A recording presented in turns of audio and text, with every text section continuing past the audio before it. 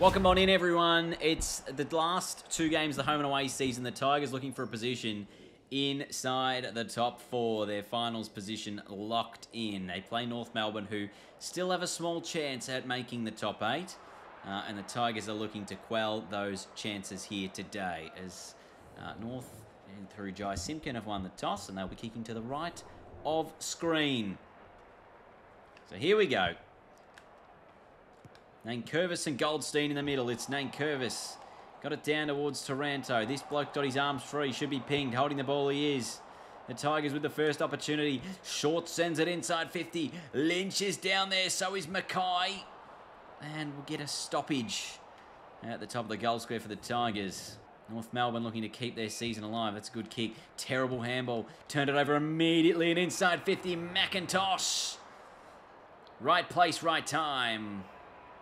Was on the lead. He's kicked three goals for the year, Kamdyn. And he's put that through for the Tigers first.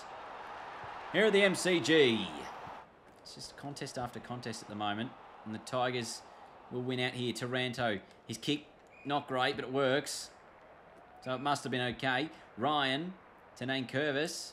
The big man from just inside the 50. He's hit the post. Which, the only reason I knew that is because I felt it vibrate on my controller. I did not see the ball there. I'm sure many of you would not have seen the ball either. Taranto gets it away. Jack Graham, he's on the run from outside the paint. Has he made it work? He has! 2-2-14. The Tigers. North Melbourne yet to score. Oh, punched. Gee, they're, they're not using any sort of brain power here at all, are they, North Melbourne? How have you missed? Hang on a minute. How has he missed? Oh. Give the hands. You know you want to give the hands. I don't know how that was given as 15 metres because it looked like a 4 metre kick. Anyway, Bauer will kick the Tigers' third goal of the opening term. And this has been an absolute shellacking. No matter which way you look at it. North are in all sorts here. Their season crumbling around them. And the fact that I've probably missed so many shots at goal is flattered them on the scoreboard as well. From the middle. Riewoldt. Didn't get to him. There's the siren. Quarter time. Tigers fans happy with that one. Tigers in control. This is Bolton with a handball to short. We can load up from just on 50 and put it through. That is clinical as you like for the Tigers. Just inside the Telstra logo. Good tackle on. Dusty with a short ball towards Bauer. He didn't get it. And Bolton bends it. That's somehow going to work. That is an absolute shank of a kick that has come off to Taranto. So this will have to be his very best, Tim. And it is. So thanks for coming. If you're a North Melbourne fan, I'd be tuning out of the video now. Get him? No, doesn't get him. Broad. It's actually Ziebell. North want to get on the board, and Jack Ziebell eh, has provided the goods. Well done to him. Now towards Lynch, and that is half time, and it's a 30 point lead if you take away one of those. So it's 29 points in favour of the Tigers, a two goal to one second term. But we can pretty much assume this game is over. So let's just skip to the end of it, and I'll tell you the score. So Dusty going the top. From long range. It's coming back. Has it got the carry? He's kicked it. He's a monster. Oh, yes, and that is a well-deserved celebration too. Absolutely taking the P155.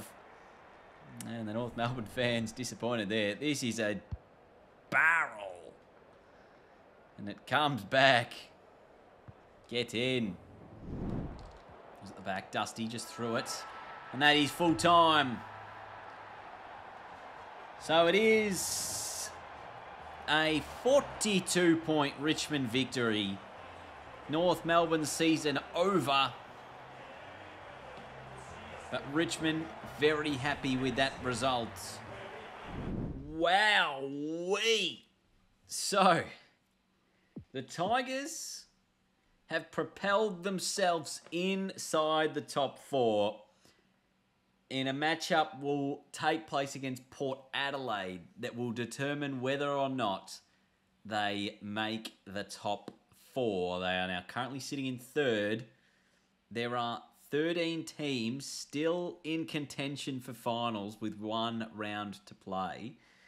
Uh, Brisbane plays St Kilda, so the winner of that will temporarily move into eighth spot. If Brisbane win, they are in.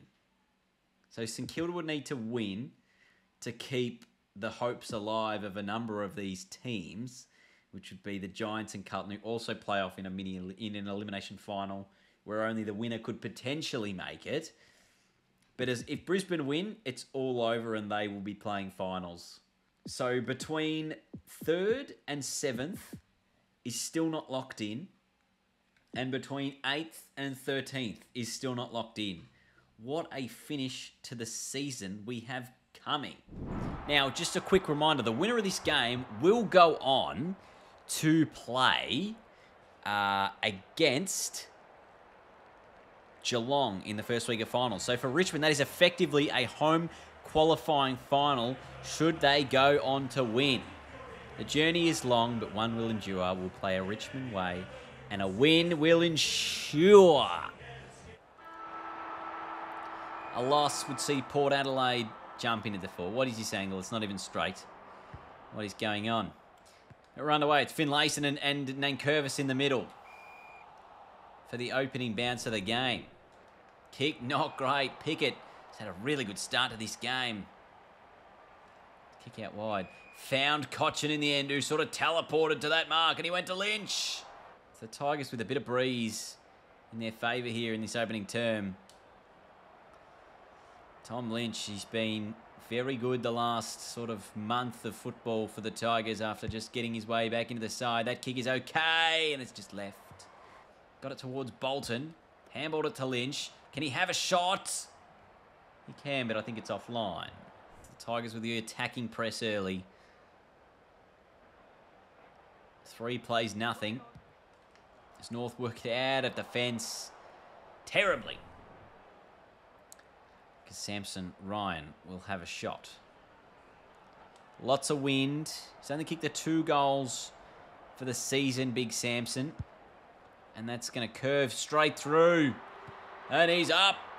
And he's about. No mark taken on that occasion. Run down from behind was the Tigers. Now Ryan also got his hands free. Then it ended up in the hands of Rozee, perhaps. Up towards Dixon. Pow Pepper again. Back to Dixon. Handball that towards. Might have been Boak. And he can't quite hit Rioli on the leads. The Tigers with a nine point advantage at quarter time. And they're currently live ladder inside the eight. The Tigers through hands. Ryan inside 50. Riewoldt. Got it. Shouldn't be an issue for Jack here. 28 directly in front. The way the wind is going, it should not be a problem. And he slots it. 2-5-17 the Tigers. Port Adelaide yet to score. Dixon marks it on half time. The Tigers very happy with that. 17 point advantage at the half. It's not get, uh, ungettable from a Port Adelaide point of view, but they really have to lift if they are any sort of hope of winning this game and putting themselves in the top four. Otherwise, the Tigers will be in for a qualifying final against the Cats. If you just play on correctly, you can actually get yourself some space. Prestia with a high footy. Inside 50, Riewoldt is down there. And he has come alive. He's currently leading the Coleman. And he's come alive in a season where he really didn't have a, a good like first half of it. It's kept low and through. So that's a 23 point advantage now. And Port Adelaide could be fumbling a position in the top four. Lear got over the top. Byrne-Jones just hacked it out of there, went towards McKenzie. Cotchin put the fist in there. And then they go in through the middle, and now they're away. Finlayson sends it forward. Baker in the one on one. Gets the fist through. Bergman forward, and again, Rioli playing from behind. And that is 50 metres, if you ask me, umpire. But instead, he's paid the free kick to Rioli, who will uh, get it. Just, just sneak it in. Can't be long left in the quarter. Prestia Got it away, Rozee. His kick was backwards about 20 metres to the top of the goal square. Not sure you'd be instructing that as a good decision. And Taranto will have to have a go here from a long way out. Right on three-quarter time. Taranto's kick is coming back. It got there! oh, that was a real Jordan Dawson level kick. Oh, I just needed any excuse to say it's coming back. I need to see the replay of that. We'll have to do it at the start of the last quarter.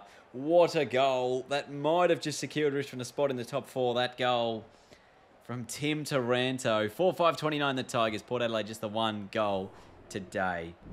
All right, so here's the angle of Taranto's kick. It almost does it almost swing.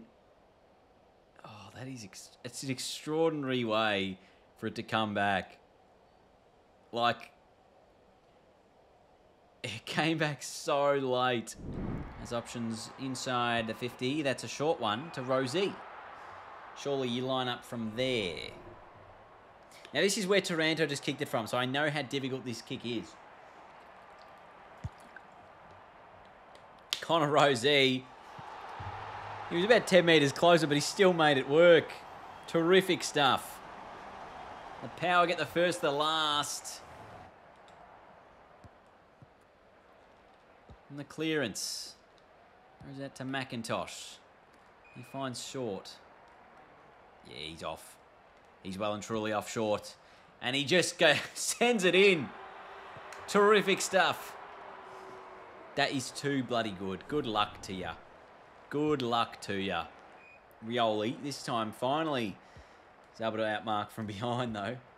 Handball to Rozee. Can he get two in the last? He does. So it's opened up here. Port Adelaide kick two in the last quarter off the back of Connor Rozee. So a 16-point Richmond lead. They will take the advantage from that free kick and they're away. Hopper has a couple of bounces, has a third. Goes long and strong. And that, if you weren't sure, is one of the classiest finishes of the day.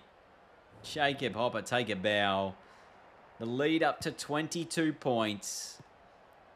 Richmond will secure a top four finish and they will play the Cats in the first week of the finals.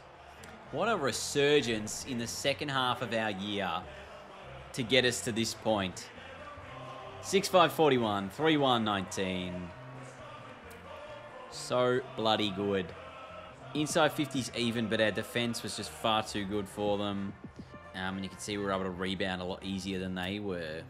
Riewoldt had a couple. Uh, and with the ball, Prestia, Cotchin, and Pickett was actually very good in defence. But look at the intercept marks here. Pickett, Broad, Vlastuin, Baker. Richmond just all over them. Let's take a look at how the finals will be. Carlton agonisingly finishing in ninth after winning their last five games of the year to almost make the top eight. They finished a game behind the Lions, who were 12 and 11, scraping into eighth position. Uh, and who else was there? North Melbourne also winning in the last round to keep them in the hunt. But Brisbane beating St Kilda. They've won four in a row heading into the finals. Um, so that is that is where we're at. So there's your first week of the finals. We'll do the qualifying final in the next video, everyone. Thank you so much for watching. I hope you've enjoyed this series. I know we've sort of it's it's, it's been very rushed. Let's be honest, uh, towards the back end of it. But uh, I hope you've enjoyed it, and uh, we're in the just the finals action now. Continues tomorrow. Get excited.